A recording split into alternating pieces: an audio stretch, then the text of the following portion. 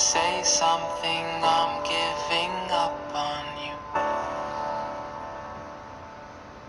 You walk out the door, you see someone that you know, and they ask you how you are. You just have to say that you're fine when you're not really fine, but you just can't get into it because they would never understand.